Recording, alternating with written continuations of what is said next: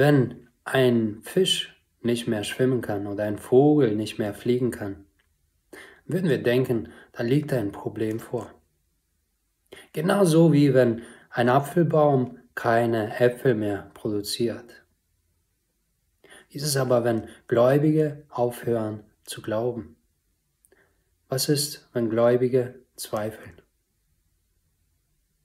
Genauso von, ein, von so einem Fall spricht der heutige Bibeltext.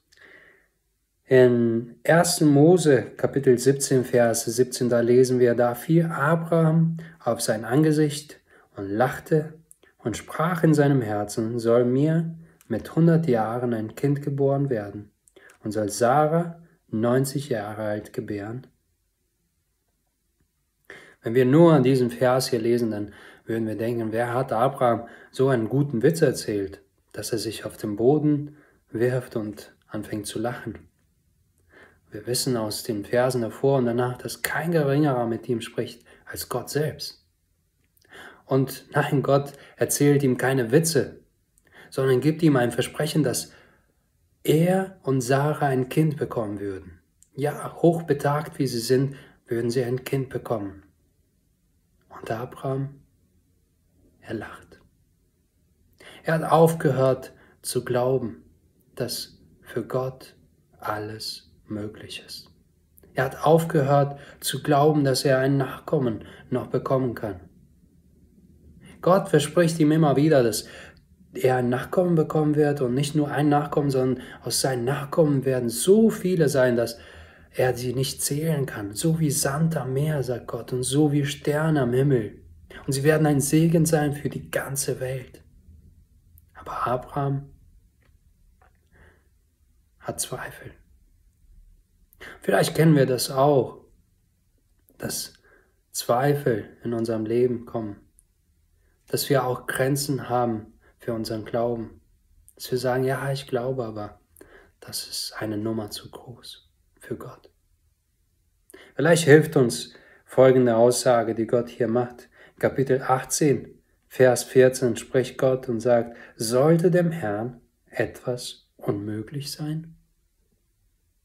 Vielleicht hilft das dir, wenn du anfängst zu zweifeln, dass du dir die Frage stellst, sollte meinem Herrn etwas unmöglich sein? Und die Antwort lautet natürlich nein. Für Abrahams Problem hatte Gott, der Allmächtige, eine Lösung. Für deine Probleme hat Gott auch Lösungen parat. Denn Gott ist alles möglich. Er ist allmächtig. Das größte Problem, was wir haben, ist das Problem mit der Sünde. Wir werden dieses Problem nicht los. Deswegen herrschen Kriege und Hass und Gewalt und Seuchen und Krankheiten, weil die Sünde da ist. Und das Ende ist der Tod. Wer kann da helfen?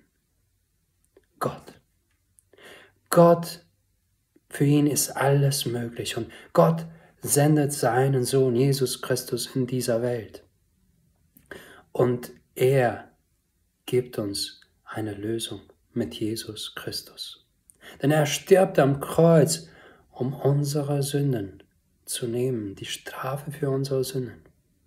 Und er überwindet den Tod und die Macht des Teufels und der Hölle.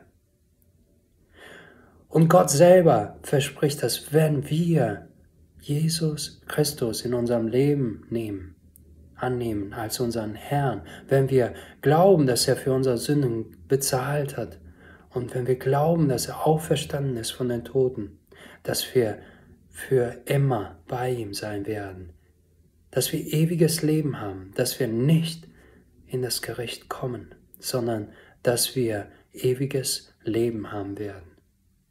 Vergebung für unsere Sünden. Gott hat eine Lösung für unser größtes Problem.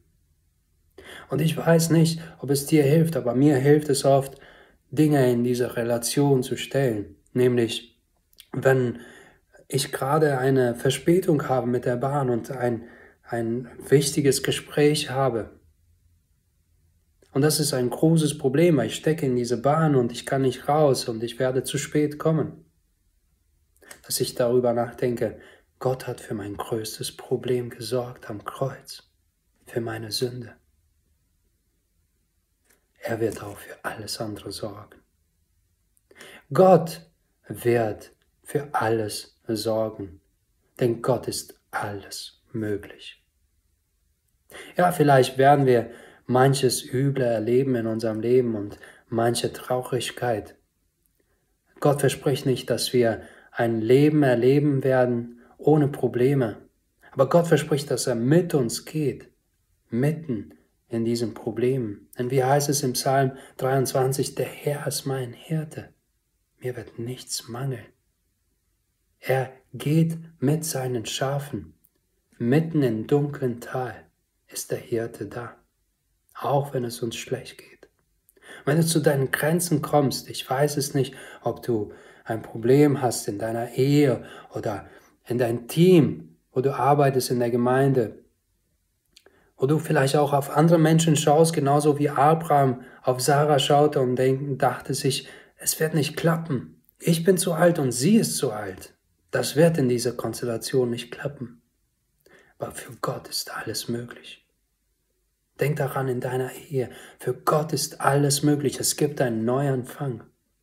Es gibt einen Neuanfang auch in dein Team, in der Gemeinde, wo du tätig bist und vielleicht Mut verloren hast und kraftlos, kraftlos geworden bist. Es gibt Mut und Hoffnung auch da. Gott kann alles. Gott kann auch mit deinem Team so viel bewirken. Vielleicht denkst du an Menschen in deiner Umgebung oder in deiner Familie, die noch nicht gläubig sind und verzweifelst und denkst, das wird einfach nicht klappen. Für Gott ist alles möglich. Vertraue ihm. Denn wie heißt es hier, sollte dem Herrn etwas unmöglich sein? Vielleicht hast du eine Sünde in deinem Leben und du denkst, die ist viel zu groß. Ich bin viel zu abhängig von dieser Sünde und es wird nicht klappen. Im ersten Johannesbrief Kapitel 1, Vers 9 gibt uns Gott eine Verheißung. Er sagt, wenn wir unsere Sünden bekennen, so ist er treu und gerecht, dass er uns unsere Sünden vergibt und uns reinigt von aller Ungerechtigkeit. Das ist Gottes Versprechen an dich. Nimm das an, denn für unser Gott ist alles möglich. Gott segne dich.